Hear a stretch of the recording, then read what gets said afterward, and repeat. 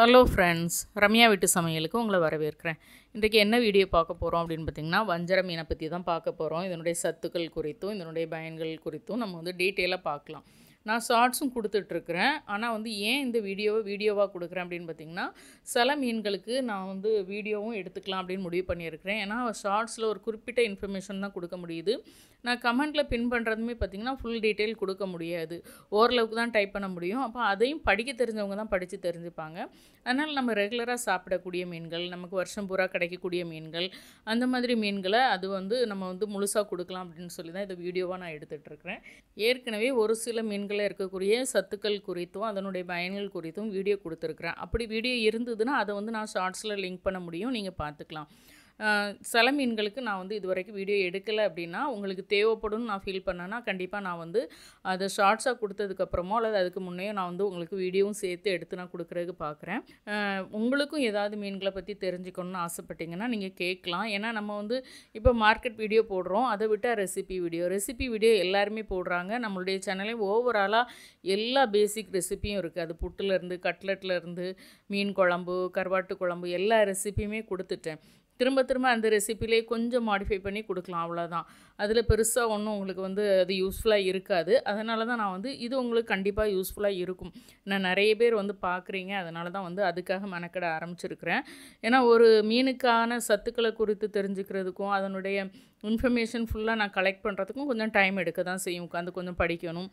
உங்களுக்கு அந்த மீனை பற்றி நான் ஒரு மீனை பற்றி ஷார்ட்ஸாக கொடுத்தாலும் சரி அதில் அந்த மீனோட தகவல்களை நான் வீடியோவாக கொடுத்தாலும் சரி உங்களுக்கு அதை பற்றின நாலேஜ் இருக்கும் இல்லையா? அந்த மீனை பற்றி நீங்கள் தெரிஞ்சிருப்பீங்க. ஏன் ஒரு ரெசிப்பியாக கூட நீங்கள் ஷேர் பண்ணலாம். இந்த மீனில் இந்த ரெசிபி பண்ணலாம் அப்படின்னு சொல்லிட்டு. உங்களுடைய கமெண்ட்ஸை நீங்கள் அதிகமாக கொடுக்க கொடுக்க அதை படிக்கிற எல்லாருக்குமே அதை வீடியோவை பார்க்குற எல்லாருக்குமே வந்து கண்டிப்பாக யூஸ்ஃபுல்லாக இருக்கும். நேற்று கூட பார்த்தேன் காரப்பொடியில் வந்து காரப்பொடி மீனை பற்றி போட்டிருந்த ஷார்ட்ஸில் ஒருத்தவங்க கொடுத்துருந்தாங்க. ரசம் கூட இந்த கருவாடு இதை கருவாடை ஃப்ரை பண்ணி சாப்பிட்றதுக்கு நல்லாயிருக்கும் அப்படின்னு சொல்லி போட்டிருந்தாங்க. ஒவ்வொருத்தருக்கும் ஒவ்வொரு டேஸ்ட் இருக்கும் இல்லையா? அப்போ அதை நானும் ட்ரை பண்ணி பார்ப்பேன். கண்டிப்பாக வந்து அது நல்லா இருந்தது. அந்த காம்பினேஷன் நல்லா இருந்துச்சுன்னா கண்டிப்பாக அதை ஒரு மெனுவாக நான் கொடுக்க முடியும் அன்றைக்கு. அதனால் நீங்கள் வந்து கண்டிப்பாக நீங்கள் ஷேர் பண்ணுங்கள் அதுவும் இல்லாமல் உங்கள் இடத்துல ஒவ்வொரு மீனுக்கும் என்னென்ன பேர்களை சொல்கிறாங்க அப்படின்னு சொல்லிட்டு உங்கள் ஊரையும் சொல்லி அந்த மீனோட பேரையும் சொல்லுங்கள் அதுவும் பல பேருக்கு யூஸ்ஃபுல்லாக இருக்கும். இப்போ நம்ம வந்து இந்த வஞ்சர மீனில் இருக்கக்கூடிய சத்துக்கள் குறித்து பார்த்துடலாம். இந்த வஞ்சர மீனில் குறிப்பாக இதில் வந்து கேலரி குறைவாக இருக்குது ப்ரோட்டீன் அதிகமாக இருக்குது நூறு கிராம் மீனில் வந்து பார்த்திங்கன்னா இருபது கிராம் ப்ரோட்டீன் இருக்குதுன்னு சொல்லிட்டு சொல்கிறாங்க அந்த அதனால் வந்து நம்ம தனம் சாப்பிட்லாம். அப்போ நீங்கள் பெரிய மீன்களை தனம் சாப்பிடக்கூடாதுன்னு சொல்லியிருக்கீங்களே இது வந்து ரொம்ப பெரிய மீன் தானே அப்படின்னு சொல்லி யோசிக்கலாம். பெரிய மீன்களை அதிக நாட்கள் அதாவது உயிர் வாழக்கூடிய மீன்களை பிடித்து சாப்பிடக்கூடிய ஒரு மீனை வந்து நம்ம வந்து தனம் எடுத்துக்கக்கூடாது தான் ஆனால் சின்ன சைஸ் வஞ்சர மீன்லையும் பெரிய சைஸ் வஞ்சர மீன்லையும் பெருசாக சத்துக்கள் டிஃப்ரென்ஸ் இருக்காது. ருசி டிஃப்ரென்ஸ் இருக்கும். எல்லா மீன்லையுமே சின்ன மீன்லையும் பெரிய மீன்லையும் ருசி டிஃப்ரென்ஸ் இருக்கும். பெரிய மீனாக போகும்போது கொஞ்சம் நெய் சத்து கூடும். சின்ன மீனாக போகும்போது கொஞ்சம் சக்க மாதிரி இருக்கும். ஆனால் நீங்கள் சத்துக்காக சாப்பிட்றீங்க அப்படின்னா இதில் பார்த்தீங்கன்னா சென்டர் போன் மட்டும்தான் இருக்கும். அப்போ நீங்கள் வந்து தாராளமாக சின்ன சைஸ் மீன்களை அரை கிலோவுக்கு கீழே இருக்க மீனையோ ஒரு கிலோவுக்கு கீழே இருக்க மீனையோ ரெண்டு கிலோவுக்கு கீழே இருக்க மீன்களையோ நீங்கள் வந்து ஓரளவுக்கு தனம் சாப்பிட்டுக்கலாம். ஆனால் நம்ம யாரும் தனம் வாங்கி அதை சாப்பிட போகிறது கிடையாது. ஏன்னா எக்ஸ்பென்சிவ் நீங்கள் ரெண்டு கிலோ மீன் போனீங்கனாலே கிலோ அறநூறுபா அந்த மாதிரி இருக்கும். அரை கிலோ கிலோவில் மீன் மட்டும்தான் வந்து இரநூறுபா முந்நூறுபா அந்த மாதிரி அதுவும் சீசன் டைமில் கிடைக்கும். இல்லைன்னா அந்த சின்ன சைஸ் மீன்கள் கூட சம்டைம்ஸ் வந்து நானூறுரூவா அந்த மாதிரி இருக்கும் கிலோ. இதில் சத்துக்கள் வேறு ப்ரோட்டீனை தவிர வேறு என்ன இருக்குது அப்படின்னு பார்த்தீங்கன்னா சோடியம் இருக்குது பொட்டாசியம் இருக்குது விட்டமின் பி டுவெல்வ் இருக்குது விட்டமின் டி இருக்குது அப்படின்னு சொல்லியிருக்கிறாங்க. அதே மாதிரி மெக்னீசியம் செலேனியம் வந்து குறைந்த அளவில் இருக்குது. அது கூடவே பார்த்திங்கன்னா கொழுப்பு சத்து இருக்குது நல்ல கொழுப்பு இருக்குது. ஒரு நல்ல ஒரு நூறு கிராம் மீனில் பார்த்திங்கன்னா வந்து கொழுப்பு சத்து ஐம்பத்தி மூணு மில்லிகிராம் அளவுக்கு இருக்குது. அந்த அளவுக்கு தான் இருக்குது. ஆனால் நல்ல கொழுப்பு. நம்ம தாராளமாகவே சாப்பிடக்கூடிய ஒரு மீன் தான் வந்து. அதுவும் இல்லாமல் இதனுடைய பற்களை பாருங்கள் செம ஷார்ப்பாக இருக்கும். அதுவும் இல்லாமல் நிறைய பெரிய பெரிய பல்லாக இருக்கும். நல்ல மீனை அப்படியே பார்த்து பாஞ்சு பிடிக்கிற அளவுக்கு இருக்கும். நல்ல ஃபாஸ்ட்டாக ஸ்விம் பண்ணக்கூடிய மீன். வெது வெதுப்பாக இருக்கக்கூடிய நல்ல ஆழ்கடலான தண்ணியில் தான் இது வாழக்கூடியது. அட்லாண்டிக் பெருங்கடல் இந்திய பெருங்கடல் பசிபிக் பெருங்கடல் எல்லாத்துலேயுமே இது வந்து வாழுது. ஒரு குறிப்பிட்ட சீசனில் ஒரு குறிப்பிட்ட இடத்துல நமக்கு இந்த மீன் கிடச்சிட்டு இருக்குது.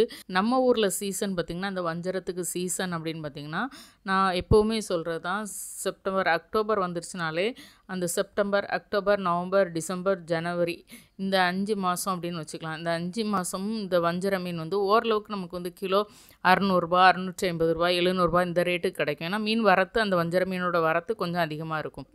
அந்த சீசன் தாண்டி முடிஞ்சதுக்கப்புறம் சீசன் இல்லாத டைமில் கிலோ ஆயிரரூபா ஆயிரத்தி இரநூறுபா அந்த ரேட்டுக்கு போயிடும் ரொம்பவே எக்ஸ்பென்சிவான மீன் தான். தினம் வாங்கி சாப்பிடக்கூடிய மீன் கிடையாது.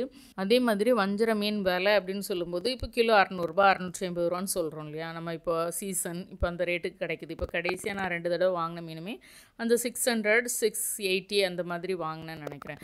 ஆனால் இந்த அக்டோபர் அக்டோபர் இந்த செப்டம்பர் இந்த டைமில் வாங்கின மீன். தூண்டில் மீன் வாங்குறதா இருந்தால் அப்படியே ஆயிரத்தி இருநூறுபா அந்த ரேட்டுக்கு இருக்கும்.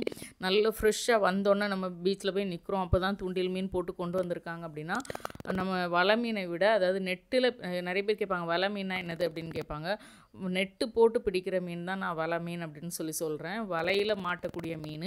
அதே நேரத்தில் தூண்டிலில் கொக்கு போட்டு பிடிக்கக்கூடிய மீன். இந்த ரெண்டு மீனுக்கும் விலை பார்த்திங்கன்னா டிஃப்ரென்ஸ் இருக்கும். ருசியும் கண்டிப்பாக டிஃப்ரென்ஸ் இருக்கும். ஏன்னா வலையில் வந்து மொத்தமாக மாட்டும். அந்த மீன் வந்து அவங்க வந்து ஐஸ் போட்டு கரையில் கொண்டு வர்றதுக்கு கொஞ்சம் டைம் எடுக்கும். இதே தூண்டில் மீனுமே போய் போட்டில் போய்லாம் பிடிக்கிறாங்க. அதை ஓரளவுக்கு ரொம்ப பக்குவமாக கொண்டு வந்துடுறாங்க. ரொம்ப ஃபாஸ்ட்டாகவும் கொண்டு வந்து அது வந்து கை மாறுது. அதுவும் இல்லாமல் நல்லா எக்ஸ்போர்ட் பண்ணக்கூடிய மீன் பார்த்திங்கன்னா இந்த தூண்டில் மீன். இந்த மீனில் இவ்வளோ சத்துக்கள் இருக்கிறதுனால இந்த மீனை வந்து விரும்பி சாப்பிட்றாங்களா அப்படின்னு கேட்டால் கிடையாது. அல்லது இந்த மீன் வந்து கடலில் கிடைக்கக்கூடிய மீன்லேயே வந்து ரொம்ப ருசியான மீனா அப்படின்றது கேட்டாலும் கிடையாது. ஏன்னா இந்த மீனை விட நம்மளுடைய மத்தி கவளை மீன் வந்து நல்லாவே ருசியாக இருக்கும். நீங்கள் மத்தி கவளை மீனை தினம் கூட சாப்பிட முடியும். குழம்பு வச்சோ ஃப்ரை பண்ணியோ நீங்கள் தினம் சாப்பிட முடியும். இதை நான் அடித்து சொல்லுவேன். ஆனால் இந்த வஞ்சர மீனை நீங்கள் வந்து தினம் சாப்பிட முடியாது. ஒரு ரெண்டு நாள் சாப்பிட்றதுக்கு நல்லாயிருக்கும் மூணாவது நாள் அந்த வஞ்சர மீன் சாப்பிட பிடிக்காது. இதுதான் வந்து அந்த வஞ்சர மீனை சாப்பிட்டு பார்த்தவங்க ஃபீல் பண்ணியிருப்பாங்க. ஏதோ வருஷத்தில் ஒரு நாள் ஹோட்டலில் போகும்போது அவங்க சர்வ் பண்ணுறதை பார்க்குறதுக்கு நமக்கு வந்து அப்படியே சாப்பிடணும் போல் தோணும். ஏன்னா அதனுடைய ஸ்லைசஸோட அந்த தன்மை அந்த சர்வ் பண்ணுற ஸ்டைல் வந்து நம்மளை சாப்பிட தூண்டும். மற்றபடி இது வந்து சத்துக்களுக்காக சாப்பிட்றாங்க அப்படின்னா கண்டிப்பாக நம்ம பாயில் பண்ணி தான் சாப்பிடணும். ஃப்ரை பண்ணி சாப்பிடும்போது அதனுடைய சத்துக்கள் கண்டிப்பாக குறைஞ்சிரும். இப்போ சொல்கிறேன்ல நூறு கிராம் மீனில் வந்து பார்த்திங்கன்னா நூற்றி அஞ்சு கலரி அப்படி இருக்குது அப்படின்னு சொல்கிறாங்க இருபது கிராம் ப்ரோட்டீன் இருக்குன்னு சொல்கிறாங்க அப்படின்னா அந்த பொரிக்கும் போது டீப் ஃப்ரை பண்ணும்போது அல்லது ஷாலோ ஃப்ரை பண்ணும்போது அந்த கேலரியோட அளவு கூடும். ஏன்னா அதில் அவ்வளோ எண்ணெய் சேர்ந்துருக்குது. அப்படிங்கும்போது அந்த அளவு கூடும். இதே இது நீங்கள் வேக வச்சு நீங்கள் எது செஞ்சாலும் அதாவது ஒரு குழம்புல போட்டு சாப்பிட்றீங்க அல்லது வேக வச்சு ஏதோ ஒன்று கட்லெட்டோ ஏதோ செஞ்சு சாப்பிட்றீங்க அப்படின்னா கட்லெட்டுமே ஒரு ஷாலோ ஃப்ரை கட்லெட் அந்த மாதிரி சொல்கிறேன் அல்லது புட்டு பண்ணி சாப்பிட்றீங்கன்னா உங்களுக்கு சத்துக்கள் முழுமையாக அதில் சொன்ன மாதிரி கிடைக்கும். ஓவராகவும் குக் பண்ணக்கூடாது. எந்த மீனை எடுத்தாலுமே மினிமம் வந்து ஒரு பதினஞ்சு நிமிஷம் வேக விடணும் அப்படின்னு சொல்கிறாங்க அது சின்ன மீனாக இருக்கட்டும் பெரிய மீனாக இருக்கட்டும் இந்த விஷயமே நீங்கள் நிறைய தெரிஞ்சு வச்சுக்கணும். நிறைய பேர் வந்து குழம்பு இறக்குறதுக்கு அஞ்சு நிமிஷத்துக்கு முன்னே போட்டால் போதும் மீன் கரைஞ்சி போயிடும் அப்படிலாம் சொல்லி நானும் வீடியோலாம் பார்ப்பேன். ஆனால் அந் அந்த மாதிரி இறக்கும்போது மீன் ஸ்டாக்கும் அவ்வளோவா இறங்காது. மீனில் ஒருவேளை தேவையில்லாத ஒரு ஒட்டுணி அதில் மேலே இருக்குது கண்ணுக்கு தெரியாதது இருக்குதுன்னா அஞ்சு நிமிஷத்துலலாம் சாகாது அப்படின்னு சொல்கிறாங்க ஒரு பதினஞ்சு நிமிஷம் ஒரு மீனை ஒரு நான்வெஜ்ஜை மினிமம் ஒரு பதினஞ்சுலேருந்து இருபது நிமிஷம் வேக வைக்கணும் அப்படின்றாங்க.